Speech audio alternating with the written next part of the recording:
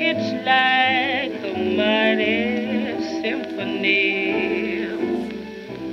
I can feel its soothing harmony, oh so tenderly, day by day.